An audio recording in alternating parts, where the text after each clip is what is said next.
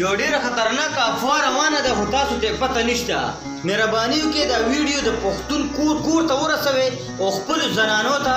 دا تصویران لازمي وخی چې هغوی دا زنانه وپیژني او دا په خپله نشاندهیه کې واچي السلام علیکم ګرانو پښتنو ملک یاسر یم نن بیا یو داسې ویډیو سره یو داسې حقیقت سره چې کیدی شي ډېرو خلکو ته د دې اندازه هم لګېدلې او پته هم ورته لګېدلې دا خځه دا کم تصویران چې تاسو ګورئ دا ویډیو مهرباني کې اول شیر کې لازمی شیر کې خپل کور کې چې د چا هم په کور کې زنانه دي نو دا ویډیوګان یا د تصویران چې کوم دي دا خامخا خپل زنانو ته وښایي چې دا زنانه وپېژني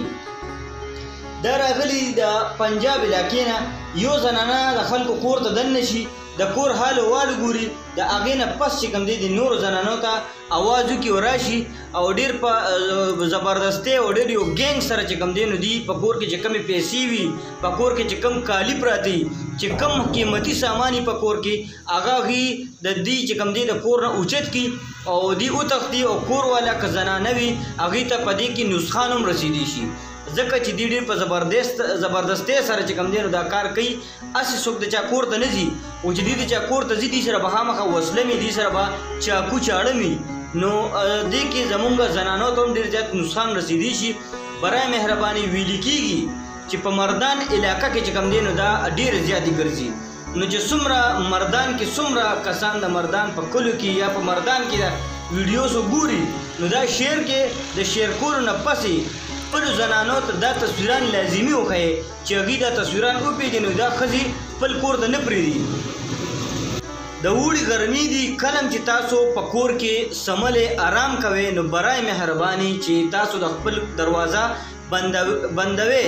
تاله ورته لګوئ او چې کور کې څوک یوازې وي، نو دا قسمه ښځې چې څومره هم راځي ستاسو کورونو ته، نو مهرباني وکړئ، دوی راځي موږ سره مدد وکړئ، موږ سره موږ له شل روپۍ راکړئ، خو دوی په هغه نیت باندې نه راځي، نو دا خلک خپل کورونو ته مه پرېږدئ. او خپل پردې وساتي او خپل ځان چې کوم دین په خپل محفوظ وساتي د دینه مخکې چې تاسو سره سواکیه راشي یا تاسو نه سغلا وشي یا تاسو زنانو ته نسخان ورزي نو د دینه خدا را چې دا ویډیو لازمی شیر کې او هر کور ته دا ویډیو رسوي چې زم څومره پښتني زنانه دي نو هغه ته دا ویډیوګانې یا مطلب دا تصویران وخی چې هغوی دا ښځې وپېژني او خپل کور ته دننه نه پرېږدي امید لرم دوستانو دا ویډیو به تاسو شیر کوئ او د بل ویډیو پورې خپل ورور ملک یاسر له ورکې اجازت ډیره مننه کوم ډیره مننه کوم په بل ویډیو کې به تاسو سره ښه به شپې لګوم په لوی الله مو سپارم د الله په امان